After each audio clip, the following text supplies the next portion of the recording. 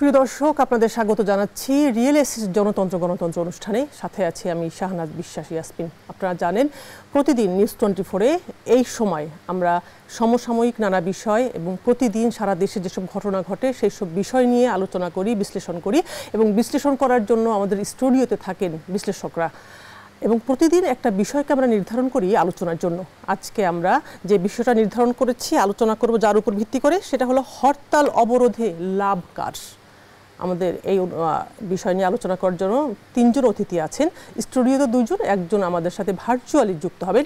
স্টুডিওতে যারা আসছেন, তাদের সাথে আমি পরিচয় করে দিচ্ছি। আমিনুল ইসলাম আমিন, ত্রাণ ও সমাজ কল্যাণ সম্পাদক, আওয়ামী লীগ। আছেন অ্যাডভোকেট আবু হেনা রাজ্জাকি, আইনজীবী সুপ্রিম কোর্ট।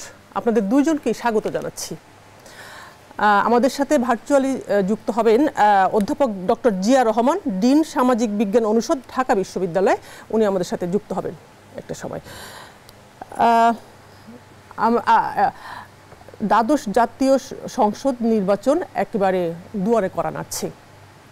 আমরা জানি যে এই এই নির্বাচনকে ঘিরে আওয়ামী লীগ সহ তার সহযোগী সংগঠনগুলো আছে, তারা নির্বাচনের প্রস্তুতি নিচ্ছেন। অন্যদিকে বিএনপি সহ তার সহযোগী সংগঠন, সমমনা সংগঠনগুলো নির্বাচনে না আসার জন্য প্রস্তুতি রূপে তারা এখন আন্দোলন করছেন মাঠে আছেন। তাদের আন্দোলনের একটাই ইস্যু, তারা নির্বাচনকালীন সরকার চায়, তারা এই সরকারের অধীনে নির্বাচনে যাবে না। কিন্তু এই যে আন্দোলন করছেন, আন্দোলনের স্বরূপ হিসাবে তারা আঠাশ অক্টোবর থেকে শুরু করে এই পর্যন্ত অনেক দিন পর বাংলাদেশের মানুষ হরতাল দেখছে, অবরোধ দেখছে। প্রশ্ন হলো, এই যে হরতাল, অবরোধ দিচ্ছে, হরতাল, অবরোধে কী হয় সব কিছু প্যাক্ট হয়ে থাকে, বন্ধ থাকে, গাড়ি ঘোড়া চলে না সব মানুষকে তখন ঘরে থাকতে হয়, মানুষ ভয়ের মধ্যে থাকে। আমরা জানি যে করোনা মহামারীর সময় বাংলাদেশে অর্থনীতির বড় একটি ধাক্কা সামলে উঠেছিল দুই বছরে। এরপর রাশিয়া, ইউক্রেন যুদ্ধ, এখন ইসরায়েল ফিলিস্তিনের যুদ্ধ চলছে। সব কিছু মিলে অর্থনীতির উপর যে ধাক্কা পড়ছে, সেটা এখন সরকার সামলাচ্ছে, দেশের মানুষ সামলাচ্ছে। আমরা মুদ্রাস্ফীতি চরম পর্যায়ে এখন আছে, সারা বিশ্বেই আছে, সেটার প্রভাব বাংলাদেশেও পড়ছে। জিনিসপত্রের দাম কোনোভাবেই লাগাম টানা যাচ্ছে না। সরকার চেষ্টা করছে সেটা বারবার মানুষকে আশ্বস্ত করছে। এর মধ্যে যখন হরতাল অবরোধ দেয়া হয় সেটার যে অর্থনীতির উপর যে নেতিবাচক প্রভাব পড়ে এর দায় কে নিবে? কিন্তু এই প্রভাবের তো সম্মুখীন হচ্ছে সাধারণ মানুষ। আমরা আজকে এই বিষয় নিয়ে দুজন অতিথি এবং ভার্চুয়ালি যিনি থাকবেন তার সাথেও আলোচনা করব। আমি একটু শুরু করতে চাচ্ছি অ্যাডভোকেট আবু হেনা রাজ্জাকি আপনাকে দিয়ে। হ্যাঁ, হরতাল অবরোধ, আমাদের বিষয়বস্তু হরতাল অবরোধের লাভ কার? এই যে হরতাল অবরোধ দেওয়ার ফলে দেশের যে অর্থনৈতিক একটা সংকটে পড়তে পারে, এটা কি আপনারা মনে করেন? আসলে হরতাল অবরোধ কার জন্য দেওয়া হয়? রাজনীতি যদি দেশের মানুষের জন্য হয়, তাহলে যে অবরোধ হরতালে দেশের মানুষের ক্ষতি হয়, অর্থনীতির ক্ষতি হয়, মানুষকে বেশি দামে জিনিসপত্র কিনতে হয় মানে মূল্যস্ফীতি হয় দেশের মধ্যে, সেইটা কাদের জন্য আসলে? অ্যাডভোকেট আবু হেনা রাজ্জাকি। আপনাকে এবং আমার সহ আলোচক ভার্চুয়ালি যিনি আছেন, তাকে আমার শুভেচ্ছা এবং দর্শক শ্রোতা তথা বাংলাদেশের সবাই প্রতি আমার শুভেচ্ছা। মানে প্রশ্নটা কিন্তু আপনি একদম সরাসরি মানে হরতালে কার লাভ, কার ক্ষতি? মানে খুব এটা কিন্তু খুব সহজ বিষয় না।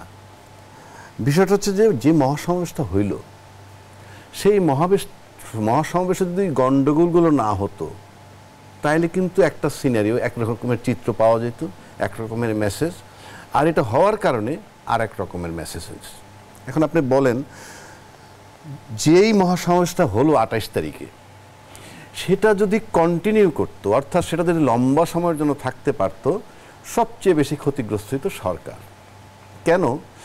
সরকার তাদেরকে বসতে দিতে চায় না দিস ওয়াজ দেয়ার প্ল্যান কারণ হলো, আপনি একবার বসতে পারেন তার আগের দিকে যান আপনি। কয়েকদিন আগেই বলা হয়েছে যে শাপলা চত্বরের চেয়েও ভয়াবহভাবে তাদেরকে পরিণতি ভোগ করতে হবে। কথাটা কিন্তু বলছিল।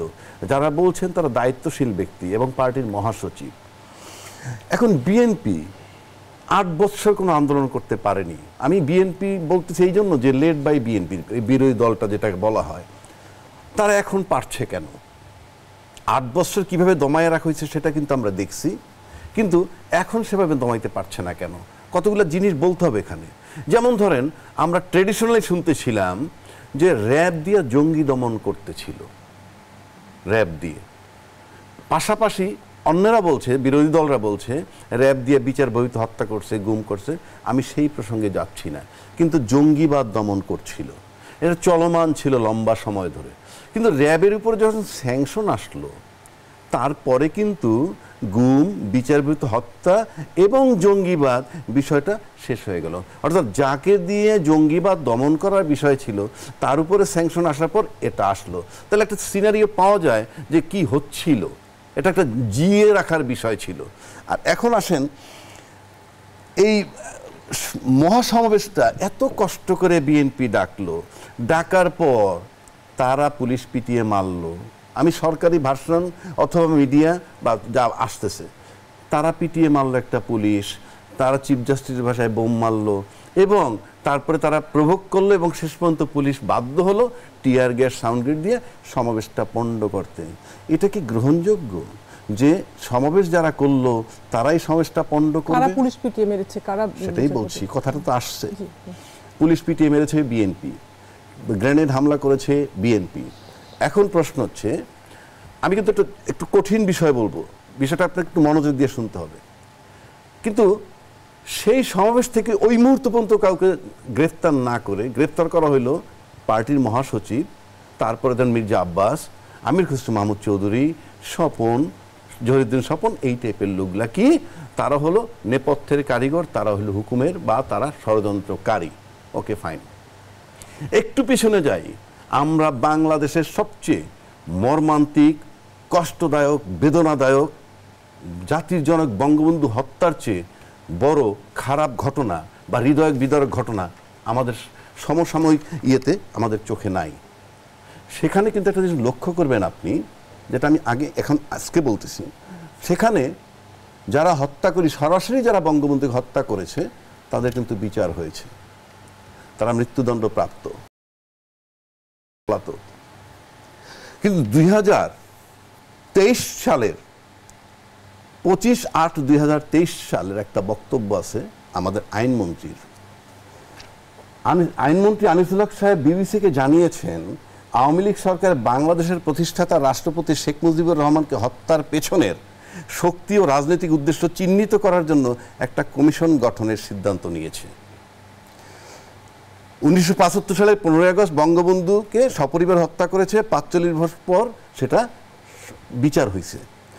হত্যাকাণ্ডের পঁয়ত্রিশ বছর পর দু হাজার দশ সালে সেই হত্যাকাণ্ডে সরাসরি জড়িত সাবেক সেনা সদস্যদের মৃত্যুদণ্ড হয়।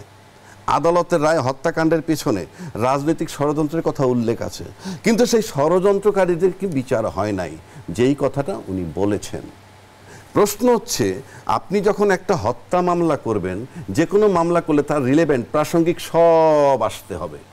এখন আপনি যারা মৃত্যু সরাসরি পিটাই মানে হত্যা করল, তাদেরকে মৃত্যুদণ্ড দেওয়া হইল জাস্টিফাইড যে মৃত্যুদণ্ড হইছে। কিন্তু এই যে কমিশন গঠন করেছেন, তারা নেপথ্যে কারা ছিল? সেই পার্টটা সেদিন আসার কথা ছিল। সেদিন যদি না আসে থাকে, বিচারটা সম্পূর্ণ হয় নাই। আমি এই জায়গাটা আসছি কেন? যে আপনি যারা সরাসরি কিল করছে বঙ্গবন্ধুকে, তাদের মৃত্যুদণ্ড হয়ে গেল। কিন্তু ষড়যন্ত্রকারীকে আপনারা এখনও ইয়ে করতে পারেন নাই চিহ্নিত করতে পারেন নাই। সেম ঘটনাটা যদি আমি এইখানে আনি, আপনি পুলিশ পিটিয়ে মারা হলো, সেখানে ষড়যন্ত্রকারীদের পাওয়া গেল। কিন্তু মাঠে যারা প্র্যাকটিক্যালি পিটাইলো, সেই যে ভিডিও ফুটেজ সেখান থেকে যদি আপনি দুইটা লোক ধরার পরে বলতেন, তারা যদি বলতো যে এই এই ঘটনা ঘটছিল এবং আমাদেরকে অত তারিখে মিটিং করেছিল, তার পরিপ্রেক্ষিতে আমরা এটা করেছি এবং এই এই লোক উপস্থিত ছিল। আচ্ছা সেটা হয় নাই। সেকেন্ড থিং আসেন যে আপনি আপনারা যারা গ্রেপ্তার করলেন তাদেরকে, আপনারা যদি জেনে থাকেন আগে থেকেই যে তারা ষড়যন্ত্রকারী, যেহেতু যারা পিটিএসে তাদেরকে ধরেননি, আগে ধরছেন নেতাদেরকে, তাহলে আপনারা জানতেন যে এরা ষড়যন্ত্রকারী। যদি তাই হয়, তাহলে আঠাশ তারিখের ঘটনা পর্যন্ত কেন ওয়েট করলেন? তাকে তো সাতাশ তারিখ রাতেও ধরা যেতে পারতো। প্লাস, তাদেরকে ধরে কারা কারা মাঠে কাজটা করবে, পুলিশ কি পিটাবে, চিফ জাস্টিস বোম মারবে তাদেরকেও ধরা যেত। ভোট আবহাওয়া রাজ্জাকি আপনার কাছে আমি আবার আসব। এখান দিয়ে আমি একটু আমিনুল ইসলাম, আমি ওনার কাছ থেকে ফিরে আসি, আবার আপনার কাছে আসছি। হরতাল অবরোধের ফলে দেশের যে অর্থনৈতিক একটা প্রভাব, বিরূপ প্রভাব পড়ে আমিনুল ইসলাম আমিন, এইটার সরাসরি ভুক্তভোগী সাধারণ মানুষ। মানুষ যখন একটা সবজি কিনতে যায় একশো টাকা দিয়ে, তার চেয়ে নিচে কিনতে পারে না, তখন সেই সাফারার তো সেই মানুষ। তো এই যে রাজনৈতিক মানে রাজনীতির বলি হচ্ছে যে সাধারণ মানুষ এইটাকে আপনারা আসলে কীভাবে দেখেন? কাদের জন্য আপনাদের রাজনীতি? শুভেচ্ছা শাহনাজ পারবেন আপনাকে ইয়াসমিন আপনাকে এবং সহ আলোচক জনাব রাজ্জাকি ভাই আর সম্মানিত দর্শক যারা দেখছেন সালাম সবাইকে। আমি আপনার আপনি আসলে শুরুই করেছিলেন এই জায়গা থেকে।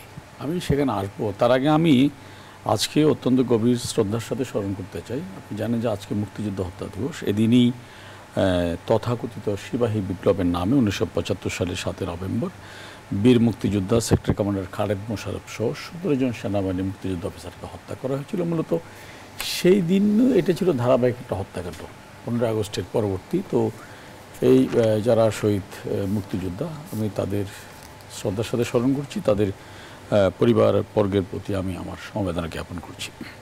আপনি যে আলোচনাটা শুরু করেছিলেন যে অবরোধ হরতাল লাভ লোকসান ক্ষতিগ্রস্ত কারা সেই প্রশ্নটি রাজ্জাকি ভাইয়ের কাছে ছিল। কিন্তু সেটা অন্যদিকে ডাইভার্ট হলো হয়তো পরে আসবে। হ্যাঁ আসব। তা আমিও আমি মনে করি যে এই জায়গায় রাজ্জাকি ভাই যে কয়েকটি প্রসঙ্গ এখানে উত্থাপন করেছেন সেগুলো আমার কথা বলা উচিত। যেমন উনি র্যাবের স্যাংশন নিয়ে এসছেন এবং বলেছেন যে বিচার বহির্ভূত হত্যাকাণ্ডের কারণেই র্যাবের উপরে স্যাংশন হয়েছে। এবং এরপর থেকে র্যাব এই কাজে নেই। আমি তাকে এই বিষয়টা একটু এই এই ধারণাটা অপনোদন করা খুব প্রয়োজন। কারণ বাংলাদেশে র্যাবের সবচেয়ে বড় ক্রিটিক অর্গানাইজেশন হচ্ছে আইন ও সালিশ কেন্দ্র। আইন ও সালিশ কেন্দ্রের যে সার্ভে রিপোর্ট সেই রিপোর্ট অনুযায়ী র্যাব প্রতিষ্ঠার প্রথম দুই বছরেই সাতশো তেতাল্লিশটি বিচার বহির্ভূত হত্যাকাণ্ড হয়েছে। মজার বিষয় হচ্ছে কি সানাজ, তখন কিন্তু র্যাবের উপরে কোনো স্যাংশন আসেনি। আওয়ামী লীগ ক্ষমতা আসার পরে নারায়ণগঞ্জের সেভেন মার্ডারের পর বাংলাদেশের ইতিহাসে প্রথম সেনাবাহিনীর দায়িত্বরত একজন কর্নেল, দুজন মেজর, এর মধ্যে একজন ছিল সে সময় আওয়ামী লীগ একজন প্রভাবশালী মন্ত্রীর জামাতা, যে কঠোরতম অ্যাকশন নেওয়া হয়েছিল এরপরে র্যাবের হাতে বিচ্ছিন্নভাবে টেকনামের একরাম ছাড়া একটিও বিচার বহির্ভূত হত্যাকাণ্ড হয়নি। অথচ তখনই র্যাবের উপর স্যাংশন আসলো। এই তথ্যটা আমি এই জন্য উপস্থাপন করলাম। এতে একটা বিষয় ক্লিয়ার যে এটি আসলে কোনো বিচার বহির্ভূত হত্যাকাণ্ড নয়। এর পেছনে একটা সুনির্দিষ্ট সুপরিকল্পিত রাজনীতি ছিল। না হয়তো ওই প্রথম দুই বছরে যখন সাতশো তেতাল্লিশটি বিচার বহির্ভূত হত্যাকাণ্ড হয়েছিল, তখনই স্যাংশন আসতো, তখন আসেনি। এবং আমার এই তথ্যে যদি কোনো ধরনের ত্রুটি থাকে, আমি সব দায়িত্ব নিয়ে বলছি, আমি যে কোনো সাজা আমি মেনে নেব। হ্যাঁ? তো এখন এরপরে আসছে যে বিএনপি কেন তাদের এই সমাবেশ ভণ্ডুল করবে? অথবা রাজ্যকে যেটি বলছেন যে সরকার যদি জানতো যে তারা পেছনে ষড়যন্ত্রকারী, তাদের কেন গ্রেপ্তার করা হয়নি? অথবা তার আগে কেন আক্রমণকারীদের গ্রেপ্তার করা হলো না? এখন, রাজ্জাকি ভাইয়ের ইনফরমেশন গ্যাপটা কোথায় জানি না, যে ওই দিনই ঘটনা, সকাল সাড়ে এগারোটায় ঘটনার সূত্রপাত। আওয়ামী লীগের একটি মিছিলে যোগদান, সমাবেশে যোগদান করার জন্য একটা মিছিল যখন আসছিল গাড়িতে করে কাকরাইল মসজিদের সামনে তাদের থামিয়ে মারা হলো এবং সেটি আমার বক্তব্য না। এই মুহূর্তে বাংলাদেশের সবচেয়ে, আওয়ামী লীগের সবচেয়ে বড় ক্রিটিক পত্রিকা হচ্ছে প্রথম আলো। প্রথম আলো রিপোর্ট হচ্ছে এটি, যে বিএনপির নেতাকর্মীরা সেই গাড়ির দুটি থামিয়ে তাদেরকে বেদরক পিটিয়েছে। তারপরে সাংবাদিকদের উপরে হামলা এবং আহত সাংবাদিকরা বলেছে তাদের উপর কারা আক্রমণ করেছে। এবং আমরা কখনো কোনো যুদ্ধক্ষেত্র কিন্তু হাসপাতালে হামলা দেখিনি, এবারে গাজায় দেখলাম। গাজার পরবর্তী ধারাবাহিকতায় আমরা এটা ঢাকাতে দেখলাম যে পুলিশ হাসপাতালে হামলা। এবং ঠিক একইভাবে গাজায় আমরা দেখেছি যে ইসরায়েলি বাহিনী নিরহ ফিলিস্তিনিদের হত্যা করে মৃত্যু নিশ্চিত হওয়ার পরে পারাচ্ছিল এই পুলিশ অফিসারটাও কিন্তু তারা পারাচ্ছিল এবং শুধু তাই নয় সরি একটি রাজনৈতিক দলের কর্মীরা কত নিচু হতে পারে, আপনি ওই ভিডিও ফুটেজটা আবার খেয়াল করবেন, দেখবেন যে ওই পুলিশ অফিসারের মানিব্যাগটাও তারা ছিনতাই করছিল। আমি তখন ভাবছিলাম, যারা একটু মৃত মানুষের মানবিক চিন্তা করে, তারা ক্ষমতা পেলে দেশটাকে কোথায় নিয়ে যাবে? এই কারণে কি তাদের আমলে দেশটা পরপর পাঁচবার দুর্নীতিতে বিশ্বাস করা হয়েছিল? হয়তো বা তাই। কিন্তু, এবং ওই ঘটনাগুলোতে, উনি যেটা বলছেন যে কেউ গ্রেপ্তার হয়নি তা নয়, ওই ঘটনাস্থল থেকেও কয়েকজন গ্রেপ্তার হয়েছে। এখনও ভিডিও ফুটেজের মাধ্যমে পুলিশ তাদের গ্রেপ্তার করছে। এবং বিএন যুবদলের সেক্রেটারি নয়ন, যে বেস্ট পরে প্রেস লাগিয়ে গাড়িতে আগুন দিচ্ছিল, সেই দৃশ্য কিন্তু সারা বাংলাদেশের মিডিয়ার কারণে সারা পৃথিবীর মানুষ জেনে গিয়েছে। তো এর ওদেরকে গ্রেপ্তারের চেষ্টা হচ্ছে? কিন্তু এমন নয় যে ওদের কাউকে গ্রেফতার করা হয়নি। সুতরাং আমি যেটা মনে করি যে এখন প্রশ্ন করতে পারেন যে বিএনপি কেন তাদের সমাবেশটি ভণ্ডুল করার মতো পরিস্থিতি তৈরি করল? আমি যেটা মনে করি একজন রাজনৈতিক কর্মী হিসাবে আমার যেটা বিশ্লেষণ, আপনি যদি তার একটু আগে যান, তাহলে দেখবেন বিএনপির যেটা প্রপাগান্ডা মেশিন আছে দেশে এবং দেশের বাইরে সোশ্যাল মিডিয়ায় এবং আমরা ইন্ডিয়ান একজন সাংবাদিক কি নন্দী, বিশ্বজিৎ নন্দী না কি নাম, সেও দেখলাম যে একটা মেসেজ দিয়ে দিছে যে তিন তারিখ বলে দিছে শেখ হাসিনাকে ক্ষমতা ছাড়তে হবে, নাহলে বাঁচান কোনো পথ নেই জো বাইডেন বলে দিছে। এবং এই কনস্পিরেসিটা একেবারে আরও ক্লিয়ার হয়ে যাবে। বাইশে অগাস্ট আমার একটা ভিডিও স্টিল ছবি আছে। বাইশে আগস্ট আমরা দেখলাম আমেরিকান ক্লাব থেকে এই জো বাইডেনের ভুয়া উপদেষ্টা মিয়া আরাফ এবং সরওয়ার্দি খুব হাসি মুখে তারা বেরোচ্ছে। প্লটটা সেখানে তৈরি করা ছিল। অর্থাৎ যেহেতু তিন তারিখের মধ্যে শেখ হাসিনাকে ক্ষমতা ছাড়তে হবে, ক্ষমতা ছাড়ার মতো একটা অরাজক অবস্থা তৈরি করতে হবে।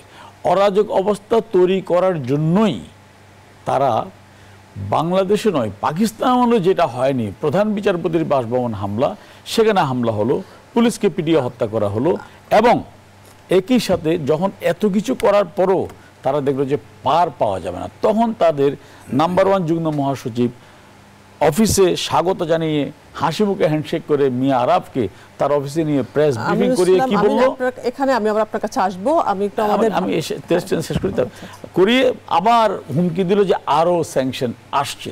তা আমি মনে করি এগুলি সবই সেই ঘটনার প্লট এখন আমি শেষ করছি। রাজ্জাকিবে যেটা বললেন যে সরকার আগে জানলে অ্যাকশন নিল না কেন? সরকার যদি এগুলো আগে অ্যাকশন নিত তাহলে বলতো কি যে এই সরকার কাউকে সমাবেশ করার অধিকারও দিচ্ছে না। জনগণ এখন জেনে গেল যে ওরা আসলে আচ্ছা, সমাবেশের নামে অরাজকতা চায় কাছে আবার নাকি আসছি এখান থেকে আমি আবার প্রশ্ন আসবে। আমি যাচ্ছি ভার্চুয়ালি আমাদের সাথে যুক্ত আছেন অধ্যাপক ডক্টর জিয়া রহমান ডিন সামাজিক বিজ্ঞান অনুষদ ঢাকা বিশ্ববিদ্যালয়। অধ্যাপক ডক্টর জিয়া রহমান আপনি তো সামাজিক বিজ্ঞান অনুষদের Chico.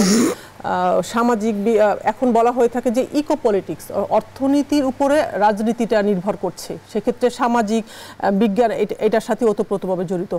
এই যে এখন দেশে তিন চার বছর থেকে, চার বছর থেকেই প্রায় বৈশ্বিক অর্থনৈতিক একটা সমস্যার ভিতরে যাচ্ছে, সেটার প্রভাব বাংলাদেশও আছে। এই সময়টাতে হরতাল, অবরোধ দেয়া, এখন হলো বছরের শেষ সময় শিক্ষার্থীদের বার্ষিক পরীক্ষা চলতেছে, সেগুলো এখন বন্ধ আছে। এই সব কিছু মিলে আসলে কোন দিকে যাচ্ছে দেশের শিক্ষা, অর্থনীতি সব কিছু অধ্যাপক ডক্টর জিয়া রহমান, আপনার বিশ্লেষণ কি বলে? আমি ধন্যবাদ। ধন্যবাদ। আমি আসলে যে বিষয়টি মনে করি যে আসলে হরতাল বা অবরোধ সব কিছু কিন্তু একটা রাজনৈতিক অধিকার। যে কোনো যে কোনো একটা পার্টিরই কিন্তু এ ধরনের অধিকার আছে, এ ধরনের কাজ করার। কিন্তু আপনাকে বুঝতে হবে যে আপনি কোন সময়টি করেছেন এবং তার ধরনটা দেখেন, আপনি মানে আমরা বলছি, এখন একটা আপনি নিজেই বলেছেন, আমরা একটা বিশ্বায়নের যুগে আছি, এখন কানেক্টিভিটি তৈরি হয়েছে, আমাদের যে বাংলাদেশের অর্থনৈতিক অবস্থাও একটা টেক অফ পর্যায়ে আছে। চারিদিকে আপনি দেখতে পাচ্ছেন ডেভেলপমেন্টের একটা উন্নয়নের একটা ছোঁয়া। আমরা সব জায়গায় বড় বড় মেগা প্রজেক্ট হচ্ছে। It is absolutely related to the initial phase of capitalist development in Bangladesh বাংলাদেশের একেবারে ইনিশিয়াল পুঁজিবাদী যে ডেভেলপমেন্ট তার একটা পর্যায়ে আছে। আপনি কোনো মানুষকে, এখন প্রত্যেকটি মানুষকে সেই সত্তরের দশকে, ষাটের দশকে বা আশির দশকে ইভেন আপনি আমরা বাইতুল মোকরম থেকে শুরু করে, আমরা বঙ্গবন্ধু থেকে শুরু করে পল্টন ময়দানে, যেভাবে মানুষের মানে সমাবেশ এবং সেখানে মানুষের আগমন দেখতাম। এখন কিন্তু আপনি সেভাবে কোনোভাবেই আপনার পার্টির নেতা কর্মীদের আপনি নানাভাবে আনতে পারেন। কিন্তু সাধারণ মানুষের সম্পৃক্ততা দিস ভেরি টাফ এটা আওয়ামী লীগ বা বিএনপি সবার জন্যই। কারণ এই সময়টা প্রত্যেকটা মানুষ তার ব্যক্তি স্বাতন্ত্র্য তার মোবিলিটি ডেভেলপ করার একটা প্রচেষ্টার মধ্যে আছে। সো কাজেই আপনি যদি এখন মুভমেন্ট করেন, আপনার মুভমেন্টের সময় আপনাকে মাথায় রাখতে হবে যে এটা কি স্ট্রিট প্রটেস্ট এবং ভায়োলেন্সের সেই যে ঔপনিবেশিক আমলে যে মুভমেন্টগুলো ন্যাশনালিস্ট মুভমেন্ট হতো, সেই জায়গায় কি আছেন? না আপনি নিউ সোশ্যাল মুভমেন্ট যেটাকে বলা হয় আর্লি আপনার মডার্নিটির মধ্যে যেখানে সফট অ্যাপ্রোচগুলো খুব বেশি থাকে। তো আমি সেই জায়গায় তাত্ত্বিক জায়গা থেকে আমি বলছি যে বিএনপি বা তার নেতা কর্মীরা এটা যারা পলিসি মেকার আছে, তারা এটা খুব সিরিয়াসলি অনুধাবন করতে পারেনি নাম্বার ওয়ান নাম্বার টু হচ্ছে বিএনপি ঐতিহাসিক ভাবেই তার কিছু দুর্বলতা আছে, তার পার্টি স্ট্রাকচারে এটিও তারা খুব বেশি চিন্তা করেছে বলে আমি ব্যক্তিগতভাবে মনে করি না। কারণ আপনি যদি ইতিহাস দেখেন ধরুন পাশাপাশি আওয়ামী লীগের তার নেতা কর্মী, তার রুট লেভেলের তার কর্মীদের যে মোটিভেশন এবং তার ডেডিকেশন এটি কিন্তু আপনি বিএনপির নেতা কর্মীদের পাবেন না। তার অনেক সাপোর্ট বেস আছে, তার অনেক মানে সাপোর্টার আছে, কিন্তু তার কিন্তু সেই নেতা কর্মী নাই যে যে কারণে আপনি দেখবেন গত কয়েক বছরের ইতিহাসে আওয়ামী লীগের নেতা কর্মীরা যেভাবে মানে নানা কারণে পুলিশি অত্যাচারে তারা আন্দোলনের সময় আত্মাহুতি দিয়েছে, আপনি কিন্তু এই ধরনের রেকর্ড বিএনপির মধ্যে পাবেন না বললেই চলে।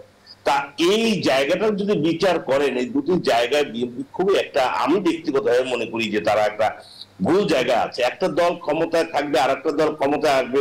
যে কোনো সাধারণ মানুষ, তারা যদি একেবারে দল কানা না হয় তারা কিন্তু সেটাই চায়। আর সবচেয়ে বড় কথা হচ্ছে, এদেশের মানুষের আপনি, মানুষের কজ নিয়ে আপনি আন্দোলন করবেন সেটাতে সাধারণ মানুষ তো সেটাকে সাধুবাদ জানান কিন্তু আপনি এই গত চোদ্দ থেকে, আপনি বলছেন নানাভাবে গভর্নমেন্ট বাধা দিচ্ছে, কিন্তু একটি রাজনৈতিক দলের চোদ্দ থেকে তেইশ পর্যন্ত একটি রাজনৈতিক দল বিক্ষিপ্ত ভাবে যে যে জ্বালাও পোড়া আন্দোলন করছিল চোদ্দতে সে ঘুরে ফিরে কিন্তু দু হাজার তেইশে এসে সেই জায়গায় কিন্তু সে থেমে গেল।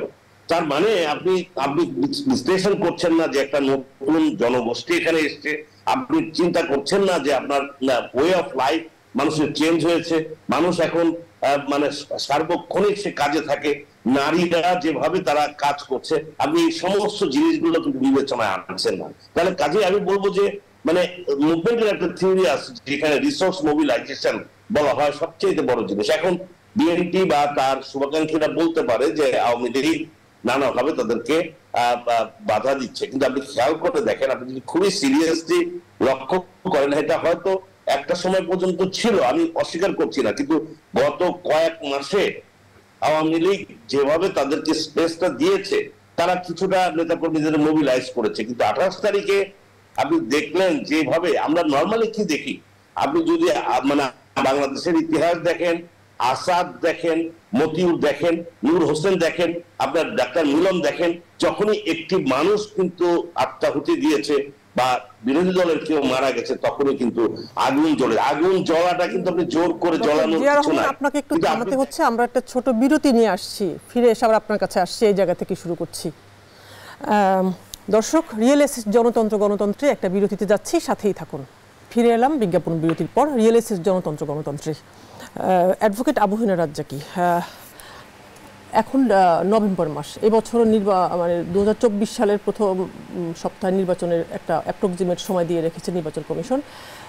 এখন সব স্কুলগুলোতে সারা দেশের বার্ষিক পরীক্ষার সময় নির্বাচনের কারণে এবছর শিক্ষা মন্ত্রণালয় থেকে বলা হয়েছিল নভেম্বরের ত্রিশ তারিখের মধ্যে পরীক্ষা শেষ করবে। আঠাশ তারিখ থেকে যে টানা অবরোধের কারণে, হরতালের কারণে সব স্কুল বন্ধ।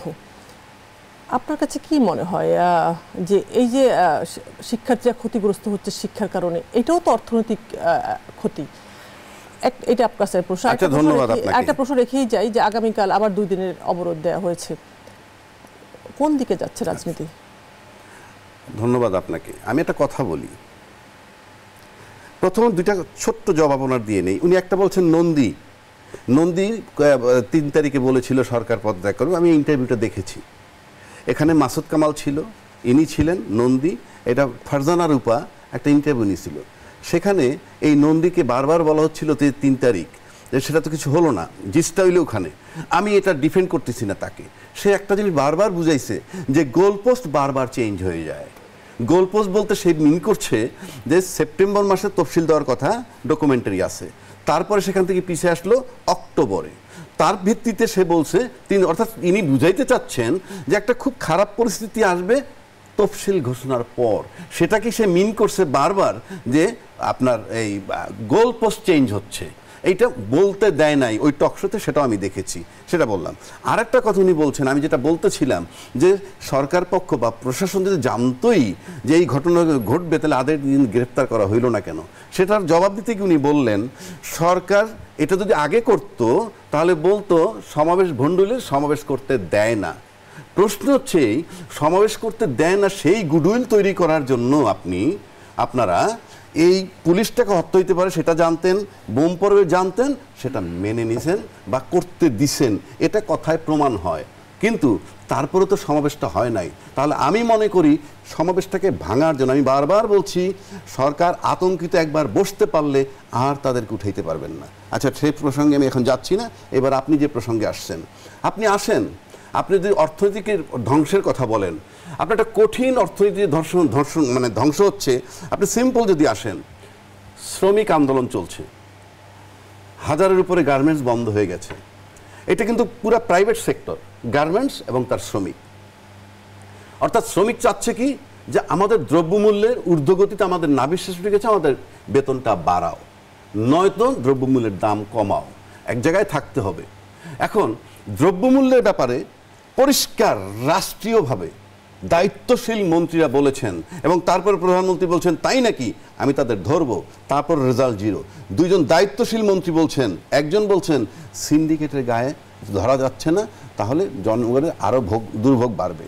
আরেকজন বলেছেন, একজন টিপু মুন্সি আর একজন আব্দুর রাজ্জাক সাহেব, উনি বলছেন, কোল্ড স্টোরেজের মালিকদের গায়ে হাত দেওয়া যাচ্ছে না। অর্থাৎ দ্রব্যমূল্যের ঊর্ধ্বগতির সাথে এই সিন্ডিকেট এবং আপনার কোল্ড স্টোর মারাত্মকভাবে সম্পৃক্ত। এখন আসেন, শ্রমিকদের টাকা। ঘুরে ফিরে তো শ্রমিকদের টাকা, শ্রমিকদের দেনা পাওনা। শ্রমিকদের টাকার জন্য ইউনুসের বিরুদ্ধে মামলা হয়েছে, শ্রমিকদের টাকার জন্যে। আর এখানে শ্রমিকদের, গার্মেন্ট শ্রমিকদের বকেয়াও আছে সাথে। সেখানে কিন্তু পুলিশ প্রশাসন এবং যুবলীগের কর্মী, ইভেন নাম আসছে আওলাদ হোসেন শর্ট গান নিয়ে ছত্রভঙ্গ করছে। দাবিটা হইল গার্মেন্টস কর্তৃপক্ষের কাছে বেতন বাড়ানোর। একদিকে পোশাক শ্রমিকরা আপনার সরকারিভাবে ছত্রভঙ্গ করা হচ্ছে আর একদিকে শ্রমিকের প্রেমের চোটে আপনি কঠিনভাবে ইউনুসের হয়রানি চলছে। আমি ইউনুসের হয়রানির বিরুদ্ধে নই সে যদি করে থাকে তার বিচার হোক। কিন্তু এইখানে তাহলে পোশাক সামগ্রী এটা আপনি শ্রমিকদের ব্যাপারে আপনি কি দেখাইলেন? আবুরা রাজ্জাকে আপনাকে এখানে থামিয়ে আমি আবার আমিনুল ইসলামের কাছে ফিরে যাই আপনার কাছে আবার ফিরছি। একটা মিনিট। আমি যে কথাটা বলছিলাম ধস, এই গার্মেন্টস সম্পর্কে সরকার পক্ষ থেকে বলা হয়েছে, শ্রমিক, তোমরা যে আন্দোলন করতেছো, তাতে যদি গার্মেন্টস বন্ধ হয়ে যায়, তাহলে তোমরা আরও ক্ষতিগ্রস্ত হবে। প্রশ্ন হচ্ছে, সমাধানে নাই, আরও ক্ষতিগ্রস্ত হওয়া। এখন গার্মেন্টস বন্ধ হলে কি হবে? পোশাক তৈরি হবে না। পোশাক তৈরি না হইলে বাইরে যাবে না। ফরেন রেমিটেন্স বন্ধ হবে। কাজেই আপনার সরকারের নৈতিক দায়িত্ব, এইটাকে বন্ধ করা। কীভাবে করবে সেটা সরকার জানে। ধন্যবাদ আপনাকে। আহ, আমিনুল ইসলাম আমিন আপনার কাছে প্রশ্নটা হলো যে আসলে রাজনীতি এখন কোন দিকে যাচ্ছে? এটা মানে এই রকম যে দুই মাস পরে নির্বাচনের সময়। এখনও দেশের রাজনৈতিক প্রধান বিরোধী শক্তি বিএনপি রাস্তায় আছে তার সমমনা দলগুলো নিয়ে রাজপথে আছে আন্দোলনে আছে নির্দলীয় সরকারের দাবিতে। চোদ্দ এবং আঠারো সালের নির্বাচন নিয়ে মানুষের নানা প্রশ্ন আছে। এবছর নির্বাচনটা কেমন হবে? কিন্তু সামনে আমি তো ওই প্রশ্নে আসার আগেই তো টাইম শেষ হয়ে যাচ্ছে। কারণ রাজ্যকে রাজ্যকে জবাব দিতে হবে কিছু প্রসঙ্গে এমনভাবে উত্থাপন করতেছে যেগুলো রিলেটেড না। আমি আবার দায়িত্ব নিয়ে বলছি সরকারের পক্ষ থেকে বলা হচ্ছিল যে এই সমাবেশকে ঘিরে নাশকতার সম্ভাবনা আছে। আমি এখন বলছি দায়িত্ব নিয়ে। এখন অনুমতি যদি না দেওয়া হতো তাহলে তো রাজ্জাকিবেই সবার আগে বলতেন যে এই সরকার মানুষের ত্রুটি চেপে ধরেছে। এখন আপনি বলতে পারেন যে তাহলে ঘটনা ঘটলো কী করে? দেখুন, আমাদের চেয়ে আমি মনে করি বাংলাদেশের চেয়ে অনেক বেশি নিরাপত্তা ইউরোপিয়ান ইউনিয়ন বা ইউরোপিয়ান দেশগুলোতে ঘর থেকে বেরোলে সিসিটিভি ক্যামেরা। সেখানে কি অহর্নিশ হত্যাকাণ্ড হচ্ছে না? স্কুলে হত্যাকাণ্ড হচ্ছে না? ক্লাবে হত্যাকাণ্ড হচ্ছে না? ঘটনা ঘটতে পারে, তাই বলে কি কেউ কি বলছে? তোমার পদত্যাগ করো। একমাত্র বাংলাদেশ ছাড়া এই কালচারটা কোথাও নেই। এগুলি লম্বা বিতর্ক, এই বিতর্কের কোনো শেষ নেই। আরেকটা সুবিধা হচ্ছে কি আমি যখন কোনো রাজনীতি করব না, আমি কিন্তু বাংলাদেশের সব রাজনৈতিক দলকে সমালোচনা করতে পারব। আমি যখন কোনো কাজ করব না, যখন যে কাজ করে তাকে আমি একশোটা সমালোচনা করতে পারব। কিন্তু কাজ কারণ কাজ না করলে সুবিধা হচ্ছে কোনো ভুল হবে না। করলে ভুল হবে। এই জন্য সবাই পুলিশের সমালোচনা করে, সবাই যেভাবে সমালোচনা করে, কিন্তু ওইটা ভাবে না যে ওদের কি কষ্টটা হয়। এনিওয়ে আমি সেই জায়গায় আর যাচ্ছি না ওটা নিয়ে। এখন গার্মেন্টস শ্রমিকদের আন্দোলন, আমি গার্মেন্টস শ্রমিকদের বেতন বাড়ানোর পক্ষে অফকোর্স কিন্তু সরকার অথবা গার্মেন্টস মালিকরা কি একবারও বলছে বেতন না বাড়ানোর পক্ষে? ওরা বলেছে বেতন বাড়ানোর পক্ষে। কিন্তু খেয়াল করুন, আট হাজার টাকার বেতনের জায়গায় ওরা চাচ্ছে তেইশ হাজার টাকা। আচ্ছা এই সময়ে রাজ্জাকে একজন অনেক সচেতন মানুষ।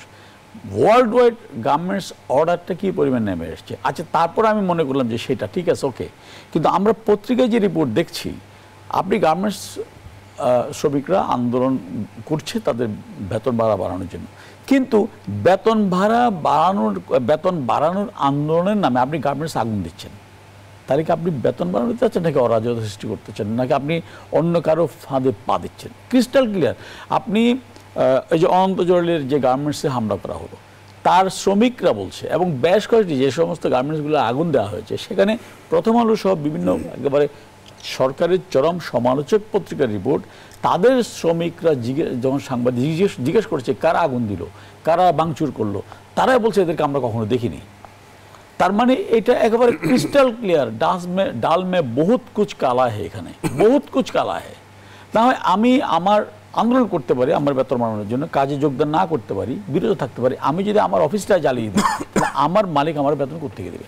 আজকে যারা আট হাজার টাকা মিনিমাম স্যালারি এরা কিন্তু ওভার টাইম সহ বারো হাজার টাকার নিচে একজন শ্রমিকের বেতন পায় না। মানছি এটাও কম হয়।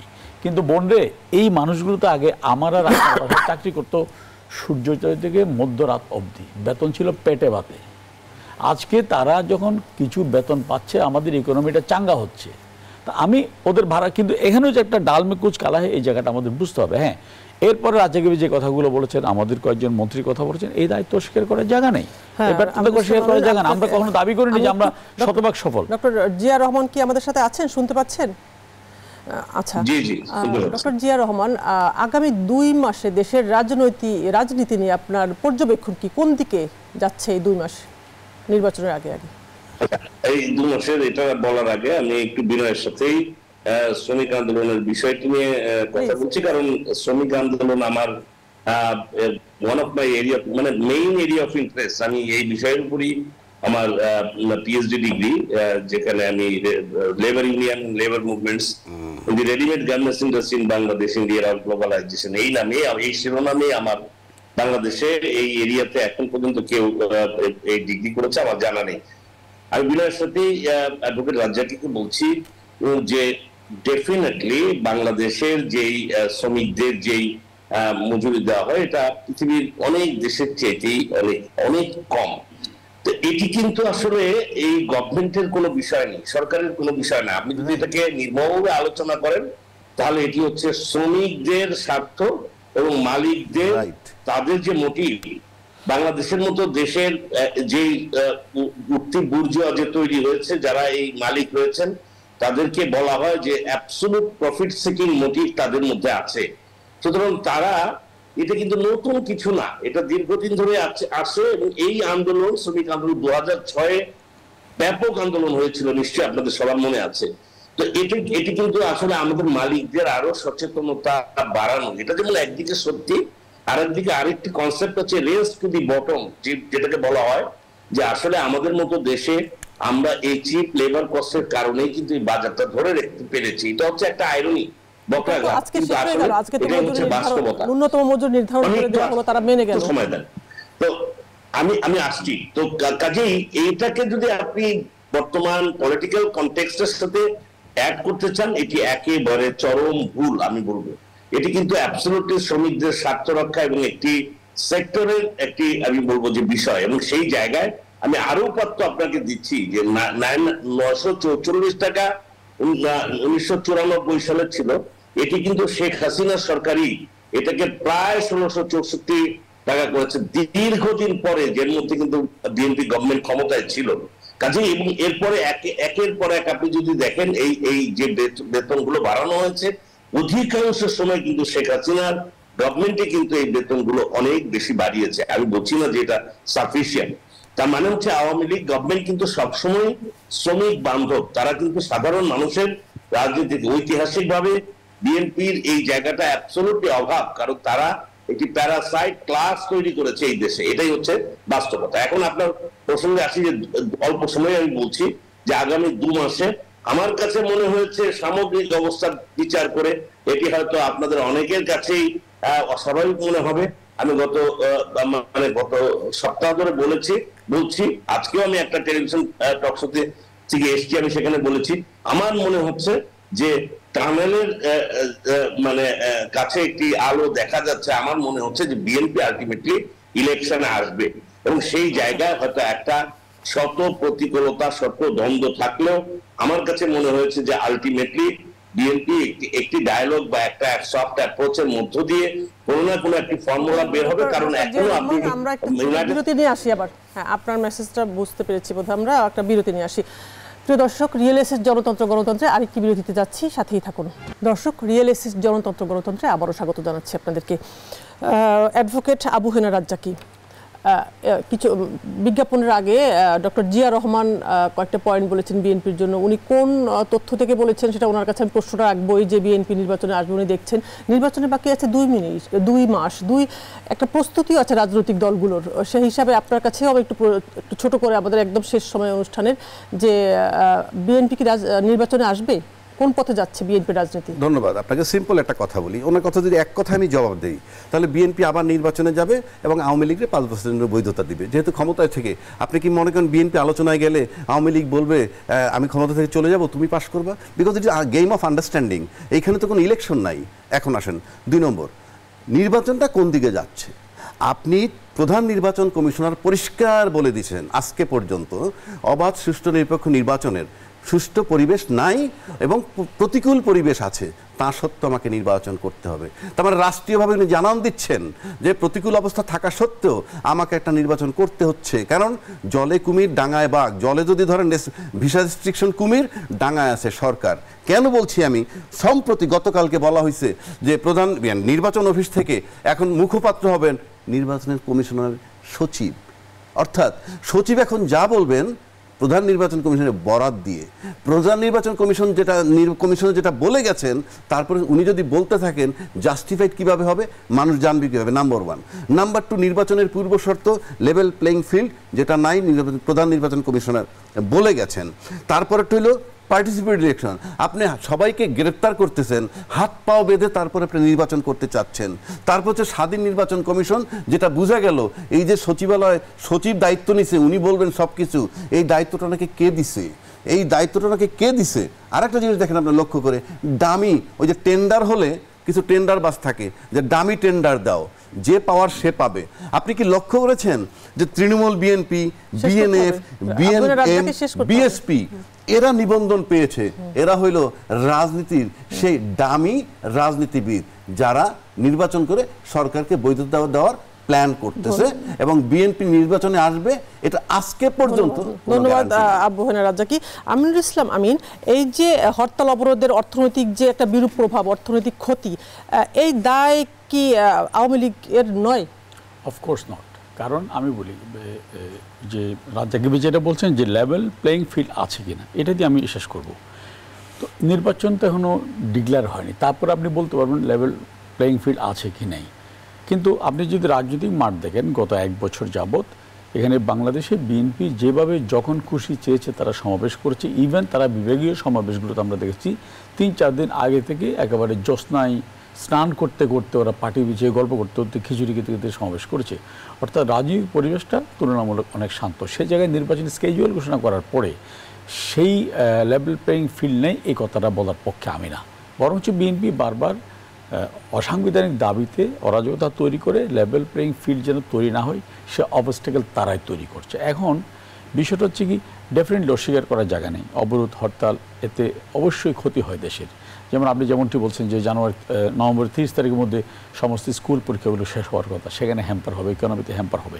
কিন্তু হ্যাম্পার হলেও এটা তো অস্বীকার করার জায়গা নেই। আমি তো একটা অসাংবিধানিক দাবি মেনে নিতে পারি না, যেটা আলটিমেটলি আমাদের রাষ্ট্রের ভিত্তিটা নড়বড়ে করে দিতে পারে। যেমন ধরেন বিএনপিতে এরকম অবরোধ ডেকেছিল দু হাজার তেরো সালে। সেই অনির্দিষ্টকালের অবরোধ এখন শেষ হয়নি। কিন্তু সেই অবরোধ, সেই আহ্বানের প্রতি সাধারণ মানুষের কোনো সমর্থন ছিল না বলেই অজান্তে এই অবরোধ ভুলে গিয়েছে। আমিও মনে করি, বিএনপির এই অবরোধের নামে, আন্দোলনের নামে, বিক্ষোভের নামে এই হত্যা, খুন, অরাজকতা, অগ্নিসংযোগের রাজনীতি মানুষ ঘৃণা করে প্রত্যাখ্যান করবে এবং বিএনপির যদি শুভবুদ্ধির উদয় হয়, তারা অবশ্যই যেহেতু তারা দাবি করছে যে মানুষ তাদের পক্ষে, আওয়ামী লীগের পক্ষে একজন লোকও নেই, প্রশাসন ছাড়া, তাহলে এই আধুনিক প্রযুক্তির যুগে যেখানে আঠারো কোটি মানুষের হাতে ছত্রিশ কোটি মোবাইল ক্যামেরা অর্থাৎ সবাই সেখানে সারা পৃথিবী পাখির চোখ করে তাকিয়ে আছে বাংলাদেশের দিকে। সেখানে আপনি চাইলেই নির্বাচন ম্যানিপুলেট করতে পারবেন সেটা আমি অন্তত বিশ্বাস করি না। আমি যদি ছিয়াশি সালের কথা বলি ছিয়াশি সালের কথা বলি মনে আছে আপনার? যে ফিলিপিনে করাজেন একিনোর পরাজয়কে ছিনিয়ে নেওয়া হয়েছিল কিন্তু মানুষ যখন বুঝতে পেরেছিল রাজপথে মানুষ নেমে এসেছিল এবং মানুষ পালিয়ে গিয়েছিল। এটা হচ্ছে ইতিহাসের অমুক সত্য। মানুষ পক্ষে ধন্যবাদ থাকলে অবশ্যই তারা জিতবে। আমি একটু যাচ্ছি ডক্টর জিয়া রহমান আপনার কাছে। জাস্ট এক মিনিটের যদি আপনি একটু আমাদেরকে বলেন যে আপনি বলেন আপনার এখন প্রেডিকশন বলছে বিএনপি নির্বাচনে আসবে। বিএনপি যদি নির্বাচনে আসে সেই নির্বাচনটা কেমন হবে? না আসলে কেমন হবে? জাস্ট এক মিনিটে যদি একটু বলেন। না আমি আমি বলছি আমার কিছু অবজারভেশনের জায়গা থেকে যে আসলে দু হাজার চোদ্দতে বিএনপি বয়কট করেছে দু হাজার আঠারোতে এই দু হাজার চোদ্দ থেকে তেইশ পর্যন্ত বিএনপি যদি আর একটা নির্বাচনে না আসে নির্বাচন ইলেকট্রাল প্রসেসে কোন একটা লিবারেল পার্টি সে যদি নির্বাচনে না আসে, তাহলে কিন্তু আলটিমেটলি তার ক্ষতি হয়। এখন নানা রকম কারণেও তাকে এই যে, এবং আমরা যে মধ্যস্থতা দেখতে পাচ্ছি, আমি যেটা বলেছিলাম গতকালকেও সাবের চৌধুরীর সাথে, তার আগে আমাদের পররাষ্ট্র সচিবের সাথে পিটার হাসের মিটিং দেখতে পাচ্ছি। আমার এটা হান্স যে কোনো একটা পর্যায়ে যে এই জিনিসটা বরফ করবে। তবে নির্বাচন, আপনি যেটা বলেছেন, এটা বিএনপি যদি শুভবুদ্ধির উদয় হয়, এই, এটা ইলেকশনে এসেও কিন্তু সে যদি ইলেকশনটাকে সে ম্যান্ডেট করতে পারে, যেমন ধরেন পনেরো বিশটা জায়গায় এই ইলেকশনটা খুব বাজে অবস্থা তৈরি হচ্ছে, সেটা কিন্তু একটা মোমেন্টাম বিএনপি কে তৈরি করে দিতে পারে, যদি বিএনপি প্রকৃত অর্থেই মোবিলাইজ করতে পারে। এবং সেক্ষেত্রে আওয়ামী লীগের জায়গায় আমি বলব তাদের কাছে যেটা আমিন ভাই বলেছে আমি মনে করি তাদের কাছে এই মুহূর্তে কোনো বিকল্প নাই কারণ নানাভাবে বিষয়টা নিয়ে যেহেতু আলোচনা হচ্ছে ultimately free and fair election বাদে যে কোনো জিনিসের জায়গায় কিন্তু সেটি আরও খারাপ অবস্থা তৈরি হতে পারে বলে আমার সেই জায়গায় আমি মনে করি যে বিএনপি আলটিমেটলি তাদের একটা পর্যায়ে যে যে ইলেকট্রাল just- প্রসেসে টিকে থাকা তার পার্টি হিসেবে তাকে এক্সিস্টেন্সটা রেখে দেওয়ার করছি আমি ব্যক্তিগত শেষ করছি ডক্টর জিয়া রহমান আপনাকে অসংখ্য ধন্যবাদ। ধন্যবাদ আমিনুল ইসলাম আমিন আপনাকে। ধন্যবাদ অ্যাডভোকেট আবু হেনা রাজ্জাকে আপনাদের দুজনকেও। প্রিয় দর্শক আপনাদেরকেও ধন্যবাদ এতক্ষণ সাথে থাকার জন্য। শেষ করছি আজকের মতো রিয়েল এসের জনতন্ত্র গণতন্ত্র।